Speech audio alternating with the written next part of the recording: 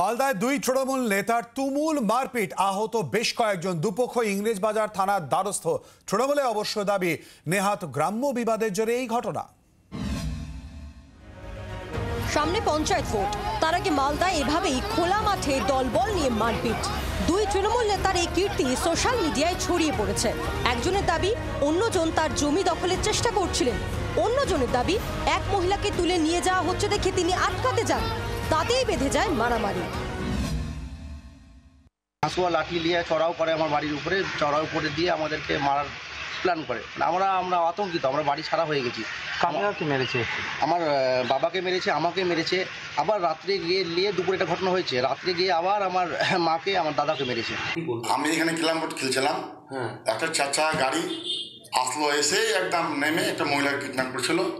তারপরে আমি এখানে যাই কি- কি জন্য মহিলা টানাটানি করছে দেখছি ওকে ছেড়ে দিয়ে আমাকে লাস্টে এখানে বড় গাড়িতে ভরছিল।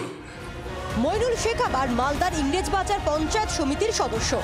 ফলে পঞ্চায়েত ভোটের আগে দলীয় কোন্দল এভাবে বেআব্রু হয়ে পড়ায় অস্বস্তিতে তৃণমূল কংগ্রেস। এইসব গ্রাম্য বিবাদ নিয়ে পার্টি কী করবে? পার্টির এই ব্যাপারে কোনো বক্তব্য নেই। গ্রাম্য বিবাদ সম্পত্তি নিয়ে বিবাদ জায়গা নিয়ে বিবাদ এটা তো এটা তো পার্সোনাল কোনো বিবাদ। মালদা জেলায় তৃণমূলের গোষ্ঠীদ্বন্দ্ব সর্বজন বিদিত আগামী সামনে পঞ্চায়েত ভোট আসছে এবং সেই পঞ্চায়েত ভোটের দখলদারি নিয়ে এলাকার এই গন্ডগোল আরও বৃদ্ধি পাবে। মারামারিতে আহত দুপক্ষের বেশ কয়েকজন হাসপাতালে ভর্তি। ইংরেজবাজার থানার ঘটনা তদন্ত শুরু করেছে।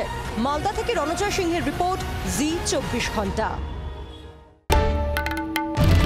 বাংলার আওয়াজ। বাঙালির আবেগ। জি চব্বিশ ঘণ্টা।